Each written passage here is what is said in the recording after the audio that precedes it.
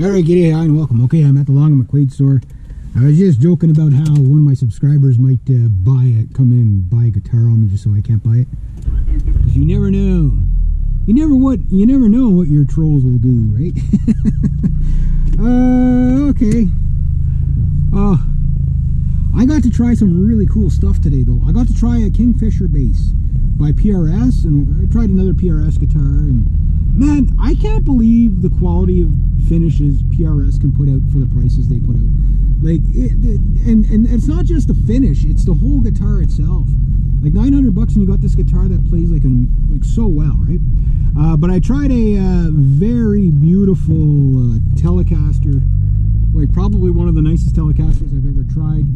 Uh, it was a Pro 2 series, so for that money, it better be nice. you know what I mean? Uh, I've tried a lot of Telecasters in my life. I really have.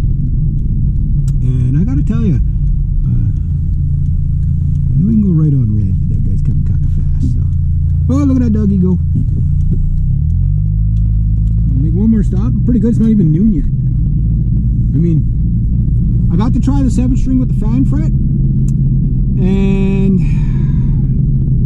I regret to inform you guys, I don't think the fan fret is going to be the solution I wanted it to be for the eight string. So, the good news is I don't have to buy another eight string. Uh, the bad news is I'll, I'll never be able to utilize the eight string the way I want to use it. Like, it's the tension issue on the, the F sharp and the uh, B, right?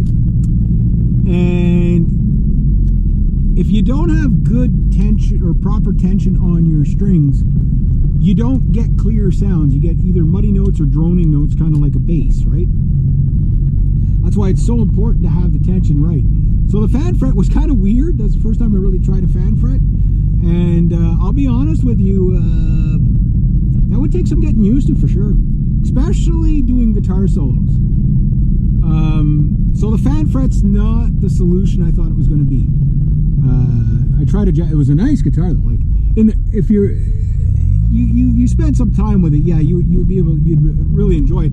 There was clear advantages by the fan fret that I, I picked out right away. Uh, you know, such as uh, you know, like the shorter scale length for the uh, solo strings, a lot less tension on them uh, made it a lot easier to um, made it a lot easier to play, right? And the other advantage was uh, not a huge advantage, but a little bit heavier of a sound because you got a longer scale length on the lower strings and slightly more even tension, not so much heavier tension, but more even tension. And uh, it was a Jackson 8 string, uh, 7 string, and I tried a couple of Ibanez 7 string shorter scale length stuff. guys, that's how many seven string? I know I try. Okay, so when you try guitars, it saves you from buying a lot of guitars. The Mark Holcomb seven string. I'm not saying this just because I bought it, but sound wise and playability wise. Okay, playability obviously the 25 and a half inch scale stuff is much better, but I'm going to be honest with you. I think that Mark Holcomb seven string is the best seven string on the market. It is just the, just the way it plays. Obviously, the way it sounds is just absolutely stunning because of that heavy baritone sound that's just so freaking bloody cool. But there's also um, just the idea that it, it um, the neck on it. You know what I mean? The, the, the neck on it. Like that guitar is so bloody good. Man. I didn't realize just how good that guitar was. That's why you got to go in a music store and just try everything on. I tried Kramer's today. I tried three Charvels today. Uh, you know, like I mean, guitars ranging anywhere from uh, like three hundred dollars up to like uh, I guess twenty five hundred dollars or something, and everything in between. And just try everything because there's some guitars you'll pick them up and they'll just wow, this is really cool. Like that that seven string Jackson for eight hundred bucks is with the fan fret is a really cool guitar. It is a really cool guitar. Um, I tried a Kramer uh, Baretta there. I haven't tried one of those in years. Uh, tried a Charvel Dinkies, DK uh, the DK22s.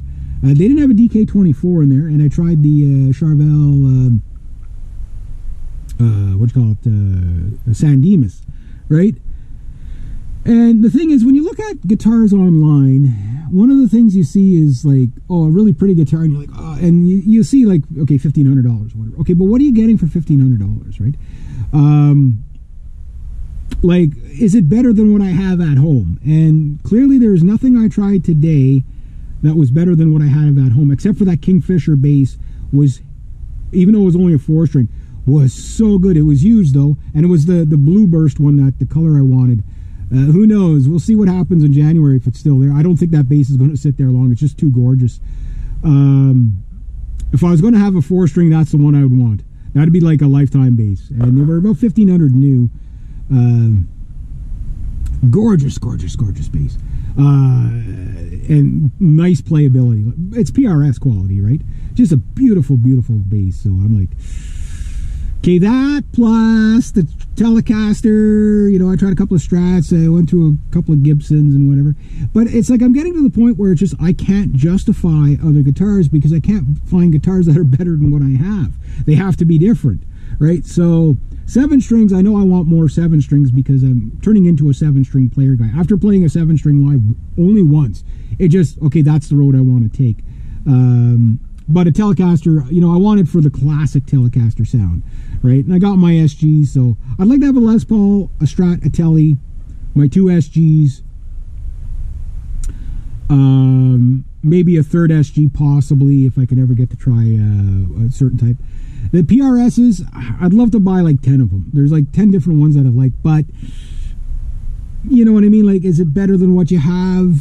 You know, like I, I would say the $900 PRS that I tried, never mind the pickups, we're not going to talk about the pickups, but just the playability and the fit and finish on that $900 was as good as any Gibson. Like, the, the there was no fret sprout, nothing like that. But that Telecaster was, it had the rolled edges, absolutely flawless fretwork on it. Uh, for that price, it better be. But, you know, it's not a shredder's guitar. It's a, you know, vintage, classic guitar guy, you know. So I don't know what's going to happen in the future for my guitar roster, but I do know I'm like I'm getting to the point where I'm buying stuff that's so good that I need not want, and unless there's something way better than what I have, it's not worth it for me to buy anymore. But then again, I'm also like maybe I should double up on my Mark Holcomb uh, seven strings because man, man, so far out of like I've probably tried about seven or eight eight strings over over time, ranging in all kinds of price, and I still think that might be the best one on the market. I, I kid you not. Uh, so far that I've tried, it, it is for the price, the price, the sound, the, the fit, the finish, the neck. The neck profile is absolutely, yeah.